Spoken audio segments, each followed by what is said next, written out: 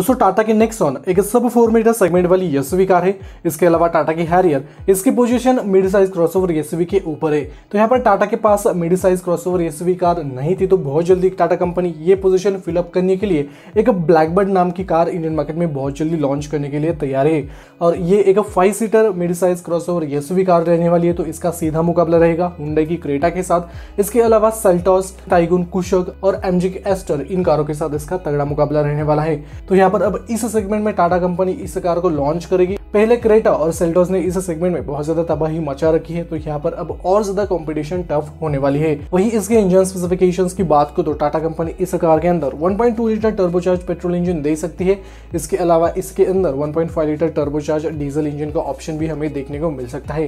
तो इस engine specification के साथ टाटा कंपनी ब्लैकबर्ड को इंडियन मार्केट में लॉन्च कर सकती है। अगर मैं टाटा ब्लैकबर्ड के एक्सटेरियर डिज़ाइन की बात करूँ तो इसका जो एक्सटेरियर डिज़ाइन रहेगा, वो कम्प्लीटली चेंज रहेगा, यानी इसको नए प्लेटफॉर्म पर बिल्ड किया जाएगा। तो डेफिनेटली इसका एक्सटीरियर में बहुत सारे नए एलिमेंट्स आपको देखने को मिल जाएँगे। जैसे कि न्यू डिज़ाइन एलईडी डीआरएल का सेटअप आपको देखने को मिल जाएगा। एलईडी हेडलाइट का सेटअप भी कंपनी इसके फ्रंट में प्रोवाइड करेगी। इसके अलावा एलईडी फॉगलैम का सेटअप भी आपको इसके top of the line variant के अंदर देखने को मिल जाएँगे। इसके फ्रंट में न्यू डिज़ाइन ग्रिल्स का सेटअप हमें देखने को मिल सकता है। जिस तरह से हैरियर और सफारी के अंदर ग्रिल्स का सेटअप आपने देखा होगा, शायद उसके मुकाबले डिफरेंट ग्रिल कंपनी ब्लैकबर्ड के अंदर दे सकती है। इसके अलावा इसके फ्रंट के और इसके रियर के बम्पर्स को कंपनी थोड़ा सा स्पोर्टियर रखने की कोशिश करेगी। जिसके ऊपर सिल्वर कलर की स्कीट प्लेट भी आपको देखने को मिल जाएगी। इसके साइड प्रोफ़ाइल की बात करो, साइड से दिखने में ब्लैक बर्ड बहुत ही बढ़िया रहने वाली है। इसके अंदर कंपनी ड्यूल टोन अलॉय भी प्रोवाइड करेगी। साइड क्लाइडिंग का ऑप्शन आपको मिलने वाला है। रूफ रेल का ऑप्शन भी आपको देखने को मिल जाएगा।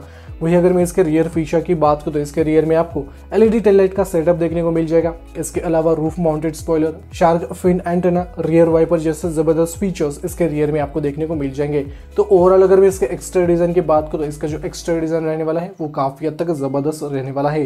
अगर इसके इंटीरियर फीचर्स की अगर मैं बात करूँ तो ऑल न्यू 2021 ब्लैकबर्ड के इंटीरियर में आपको काफ़ी हद तक नए फीचर्स देखने को मिल जाएँगे। और इसका जो इंटीरियर का डिज़ाइन और इसका इंटीरियर का थीम रहने वाला है, वो कम्प्लीटली न्यू आपको देखने को मिल जाएगा इसके अंदर आपको ड्यूल टोन कलर का थीम देखने को मिल जाएगा और एंटरटेनमेंट के लिए कंपनी इसके अंदर बड़ा floating touch screen infotainment system दे सकती है। शायद इसके अंदर सफारी और हैरियर वाला ही 8.8 इंच का floating touch screen infotainment system use किया जाएगा, जो कि एंड्रॉइड ऑटो और एप्पल कारप्ले को सपोर्ट करता है।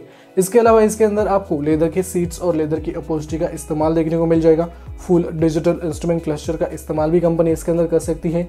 इसके अलावा automatic climate control panoramic sunroof आपको top of the line variant के अंदर देखने को मिल जाएगा।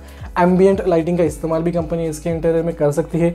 इसके अलावा वायरलेस स्मार्टफ़ोन चार्जिंग और ढेर सारे premium features all new 2021 Blackbird इस five seater mid size crossover SUV car के अंदर आपको देखने को मिल जाएँगे।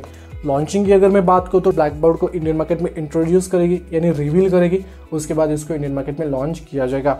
इसकी कीमत इंडियन मार्केट में नौ लाख रुपए से शुरू हो सकती है बेस मॉडल के एक शोरूम प्राइस और इसका टॉप मॉडल पंद्रह लाख रुपए तक चला जा सकता है। ये एक शोरूम प्राइस मैंने आपको बताई है, ये वीडियो अपने सभी दोस्तों के साथ और परिवार वालों के साथ शेयर कीजिएगा।